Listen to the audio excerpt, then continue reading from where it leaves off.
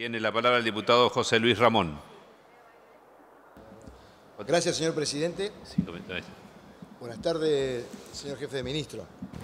He hecho una veintena de preguntas por escrito, en, la- en donde la gran mayoría de usted las respondió, pero me quedan algunas diferencias, primero que nada, de tipo conceptual, porque como yo le decía en, en la anterior visita suya a la Cámara, acá hay un tema que no se está tomando en cuenta desde su jefatura y desde algunos de los ministerios, específicamente el Ministerio de la Producción y el Ministerio de Energía. Y especialmente un ente de control, el Ente Nacional Regulador del Gas. En cuanto al, al Ministerio de la Producción, nosotros le preguntamos, y usted lo responde de una manera, no digo evasiva, pero sin la información que nosotros sí tenemos, y es el apoyo que se le debe dar a las asociaciones que defienden a los consumidores. ¿Por qué le digo esto?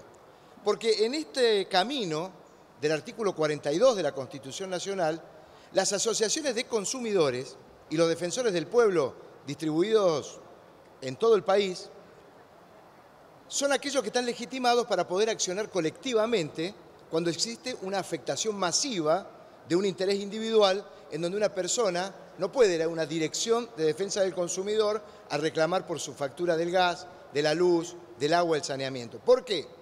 Porque justamente la posición dominante de la empresa que presta el servicio monopólicamente en general eh, es una empresa que está regulada por un ente estatal y las direcciones que defienden a los consumidores en la provincia, como la Dirección Nacional, no pueden tomar parte tan solo en una audiencia de conciliación o de una condena por una falta, pero de manera de denuncia individual.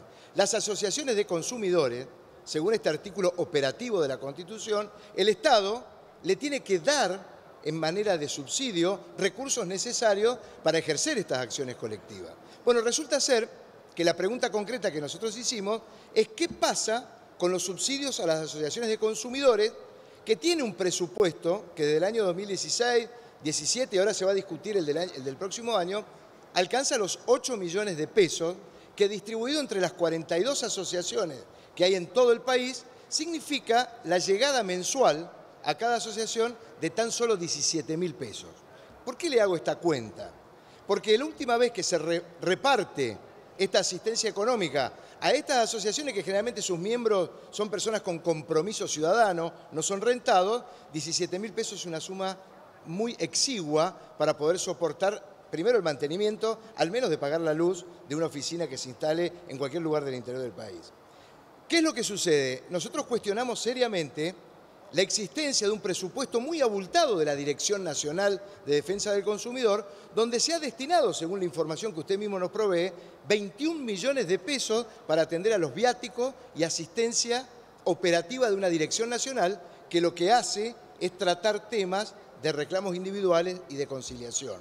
Cuando las em- las asociaciones de consumidores lo que hacen es reclamar de manera colectiva colectivos que superan, en el caso del gas en la provincia de Mendoza, más de 400.000 usuarios. Y eso requiere de una mínima asistencia económica que no está ocurriendo. En el informe escrito usted dice, eh, no, se le está enviando a las asociaciones ese dinero. La verdad es que no, señor jefe de ministro. La última vez fueron 200 mil pesos del presupuesto del año 2016, durante el 17 no se depositó y en este año 2018 todavía no se ejecuta la partida presupuestaria. Eso es importante que usted lo responda, señor jefe. Primer línea del pensamiento. La segunda tiene que ver con el servicio público y una afectación económica de tres provincias de la Argentina que están en Cuyo, San Luis, San Juan y Mendoza.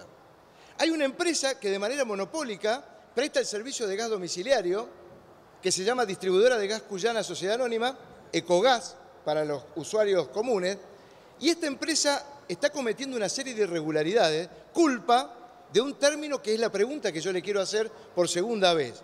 ¿Qué control está haciendo el Poder Ejecutivo de la Nación, el ente nacional regulador del gas, sobre esta empresa que está cometiendo un ilícito que tiene una justificación técnica? No voy a hablar políticamente del problema federal que tenemos sobre todo en Mendoza, porque el tipo de tarifa que esta empresa aplica a los mendocinos para cobrar el gas domiciliario es el mismo de esta provincia, en la provincia de Buenos Aires Norte y la capital federal, en donde el, el rigor climático del invierno es muy corto, allá es muy grande, y lo que hoy acá una factura de 1.500, 2.000 pesos es un escándalo, en la provincia de Mendoza estamos hablando de facturas promedio que no bajan de los 3.000 a 8.000 y 10.000 pesos en una casa igual que la que ocupa acá en la capital federal. Diputado, podemos ir cerrando. Claro. No, no funciona, pero sí lo estoy controlando desde. Gracias, gracias, señor presidente. Pero el punto cuál es, y esto es técnico, ¿qué control hace el Enargas? Hay dos normas, una es el decreto del año 2016 número 31, que le impone a la empresa distribuidora que presta el servicio que, no podrán efectuar distribución de sus dividendos hasta tanto no cumplan con el plan de inversiones al que se comprometieron previo a la revisión tarifaria integral. Y segundo, el Enargas no puede autorizar esa distribución ni tampoco, ni tampoco pueden dejar de hacer las inversiones esta empresa que presta el servicio. ¿Qué quiero decir con esto? La empresa distribuidora de gas Cuyana Diputado, dos minutos excedido. Es, lo, voy a cerrar en este momento. La, distribuidora de gas Cuyana lo que hizo fue obtener el beneficio del aumento tarifario, comprometerse 386 millones de inversión en las tres provincias, invirtió 112 y por un acta de directorio el 28 de marzo repartió sus ganancias sin que el Enargas, la jefatura de ministro ni el Poder Ejecutivo intervengan ante semejante escándalo que lleva una transferencia directa de hogares a empresa que no está cumpliendo con la ley. Gracias. Gracias, señor, diputado. Por favor.